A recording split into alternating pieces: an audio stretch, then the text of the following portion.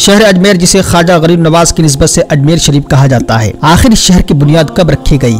और इस दरगाह की तामीर किसने की? शहर अजमेर को राजा अजयपाल ने आबाद किया था। उसने अपने नाम पर उसका नाम अजमेर रखा था, जो आम ज़ुबान में अजमेर मशहूर हो गया। जब ख्वाजा मोइनुद्दीन चिश्ती हज के लिए तशरीफ़ ले गए और तवाफ काबा के बाद मदीना मुनव्वरा पहुँचे, एक दिन रोज़े रसूल सल्लल्लाहु अलैहि वसल्लम से आवाज़ आई, ए मोइनुद्दीन, हिंदुस्तान की तरफ़ जाओ और शहर अजमेर में बस जाओ, वही दीन की तबलीग करो। आपके साथ चालीस आदमी हिंदुस्तान के लिए ग्यारह सौ बानबे ईस्वी को रवाना हुए। लाहौर पहुँच कर हज़रत दातागंज बख्श अली हजवेरी के मजार अकदस पर मुतकिफ रहे। वहाँ से दिल्ली में चंद दिन कयाम करने के बाद अजमेर पहुँचे। उस वक्त अजमेर में राजा पृथ्वीराज की हुकूमत थी। पृथ्वीराज की माँ साहिरा, यानी जादूगर थी, जिसने कुछ साल पहले ही पृथ्वीराज को बता दिया था कि तुझे किसी राजा से शिकस्त न होगी, बल्कि एक फकीर आएगा, वही तुझे शिकस्त देगा। ख्वाजा गरीब नवाज़ दस मुहर्रम हराम पाँच सौ इकसठ हिजरी को अजमेर शरीफ पहुँचे। शहर के बाहर एक पीपल के दरख्त के नीचे कयाम फरमाया। वो राजा के ऊँटों के बैठने की जगह थी। साहबानों ने कहा की आप लोग यहाँ मत बैठिए, यहाँ राजा के ऊँट बैठते हैं। ये सुनकर आपने फरमाया अच्छा हम जाते हैं। तुम्हारे राजा के ऊँट बैठे रहेंगे और अपने चालीस साथियों के साथ अना सागर हाउस के पास उस जगह कयाम फरमाया,